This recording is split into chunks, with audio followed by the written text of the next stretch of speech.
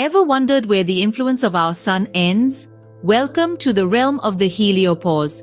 This is the boundary where the solar wind from our sun slows down and merges with the interstellar medium, the cosmic stuff between stars. Imagine a bubble around our solar system. That's the heliosphere. The edge of this bubble, where the solar and interstellar winds balance, that's the heliopause.